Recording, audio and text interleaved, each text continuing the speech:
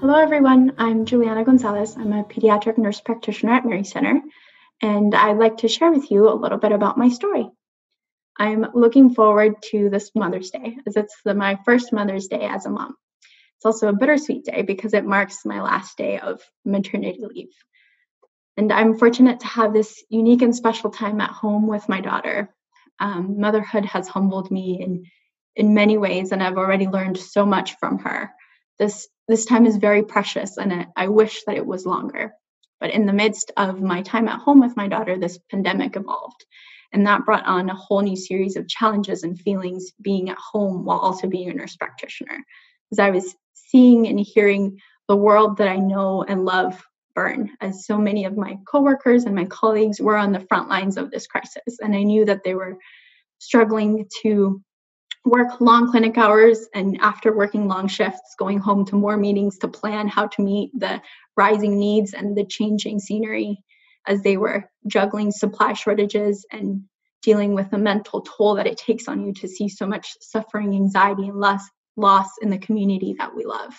And the fact that they face this this chronic stress and the pervasive uncertainty that this crisis brings and seeing them work tirelessly inspired me to return to work.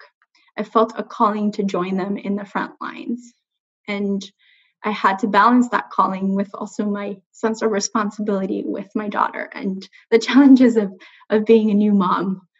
Um, but after thinking through the responsibilities I have as a nurse practitioner and the responsibilities I have with my daughter, I chose to return to work early. Um, and I started working from home doing televisits when my daughter was six weeks old. Um, I think that choosing a career in the healthcare field is choosing a lifetime of service. And it's a calling to use the skills you have to care for others. So I called my chief medical director and I asked if, if there was anything that I could do because I needed to do something. I felt a calling to contribute, to share the burden that we all have, because it is only together that we will get through this. And I believe that together we are stronger. And I needed to be a part of my team again. So we arranged for televisits from home and I was able to juggle those with my daughter's nap time, which was a challenge, but uh, was doable. And I needed that feeling of knowing that I was doing something to help, to feel like I was part of my team again, to give me some peace in the middle of this crisis. And in a way, I had to deal with what I think all working moms face, which is that inevitable transition of, of going back to work and that feeling of am I giving something up? Am I giving this precious time up with my child?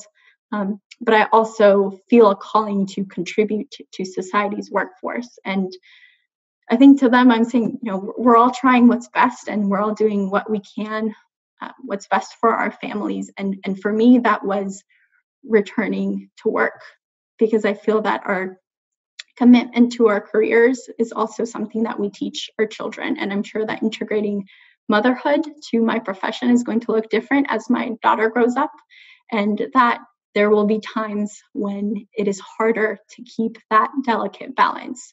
But I think, um, I hope my daughter also learns from me returning to work. I, I think that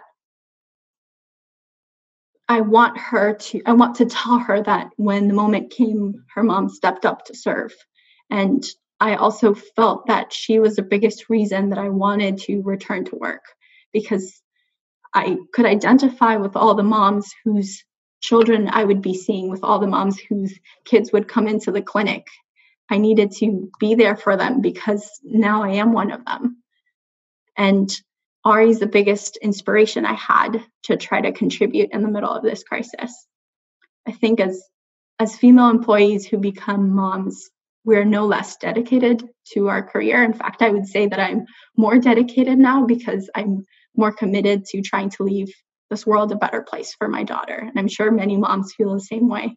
So on this Mother's Day, as I reflect on what it means to be to be a mom and not just a mom, but a, a working mom, I'm blessed to have an employer who has had flexibility um, in the adjustments that I need to have a balance as a mom but I'm also feeling called to and inspired to join back on the front lines with all of my coworkers. Wish all mothers a very happy Mother's Day.